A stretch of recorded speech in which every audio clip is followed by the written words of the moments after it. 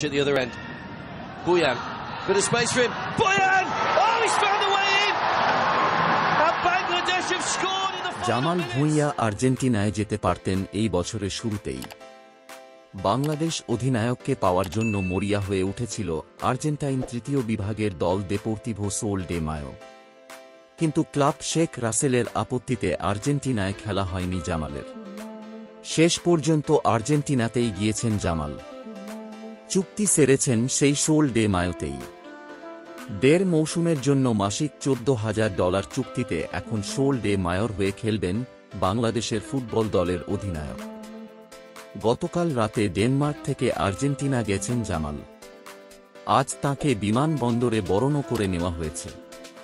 Soul de mayo কর্মকর্তাদের সঙ্গে জামালের ছবি ফেসবুকে আপলোডও করেছে সোল ডে মায়ো যদিও পরে তা মুছে ফেলা হয়। এই বছরের মার্চে জামালের সঙ্গে চুক্তি প্রায় পাকাই করে ফেলেছিল আর্জেন্টাইন ক্লাবটি। জামাল নিজেও বেশ আগ্রহী ছিলেন তৃতীয় বিভাগের দলটির হয়ে খেলতে। কিন্তু অনুমতি দেয়নি শেখ রাসেল। এ মৌসুম শেষে জামাল কোথায় খেলবেন তা নিয়ে একটি গুঞ্জন ছিল। তখন থেকেই শোনা যাচ্ছিল সোলে ডে মায়র নাম।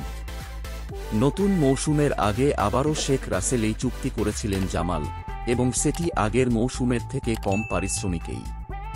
কিন্তু সোল ডে মায়ো জামালকে যে প্রস্তাব দিয়েছে সেটি রীতিমতো লোভনীয়। মধ্যবর্তীকালীন দলবদলে অর্ধেক মৌসুম খেলবেন জামাল, পাবেন মাস প্রতি চোদ্দ হাজার ডলার বা চোদ্দ লাখ টাকা। জামালের ঘনিষ্ঠ সূত্র থেকে জানা গেছে এই তথ্য।